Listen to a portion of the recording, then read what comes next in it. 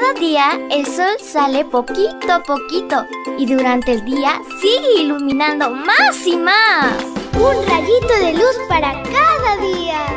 Para recordar los valores con historias que dejarán una huella importante en tu vida.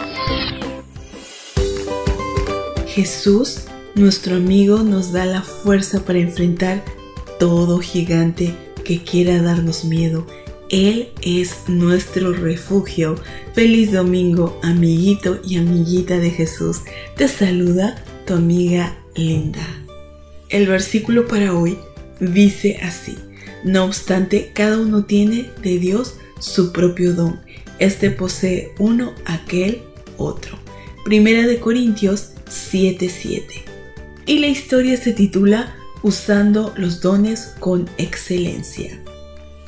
Un niño llamado Isaac Watts disfrutaba de ir a los cultos de la iglesia, pero se iba triste porque no le gustaban los signos que se cantaban. Un día le preguntó a su padre, Papá, ¿por qué en la iglesia cantan himnos tan feos?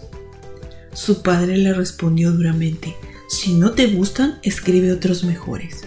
La respuesta de su padre lo desafió y ese mismo día compuso su primer himno, Luego lo llevó para que lo cantaran en la iglesia. El himno les gustó tanto a los hermanos que le rogaron que escribiera otros y él accedió gustoso.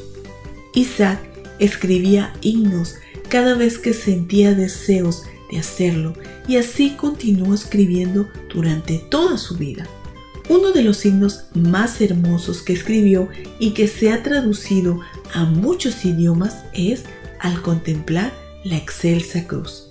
Otro de sus hermosos himnos es Dominará Jesús el Rey. Este muchacho a los siete años estudiaba gramática y latín, a los nueve aprendió griego, a los diez francés y a los trece el idioma hebreo.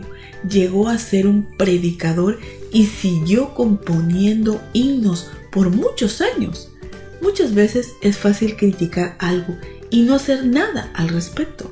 Sin embargo, esta historia nos muestra que aunque este niño no le agradó algo, decidió mejorarlo y finalmente llegó a ser un personaje distinguido para la obra del Señor. ¿Te agradaría que con los años se contara la historia de algo que tú hiciste para Dios con excelencia? Sería hermoso que fueras recordado por tu esfuerzo, dedicación y entrega en algo que amas hacer y de esa manera llegar a ser una inspiración para que otros niños y jóvenes busquen a Jesús. A cada persona Dios le dio un don. Si piensas que solo tienen dones los que cantan o predican en la iglesia, estás en un error. Hay muchos otros dones que han sido entregados para servir y mostrar a otros el amor de Dios. El asunto es la manera en que usamos esos dones. Si los usamos con excelencia, los ignoramos o incluso ni siquiera intentamos saber cuáles son. Encuentra tus dones y comienza a desarrollarlos poniendo todo tu esfuerzo, entrega y dedicación en ellos. Querido Jesús, en este día queremos pedirte que tú nos ayudes a usar nuestros talentos para seguir sirviéndote donde tú nos has puesto. Te lo pedimos en el nombre de Jesús.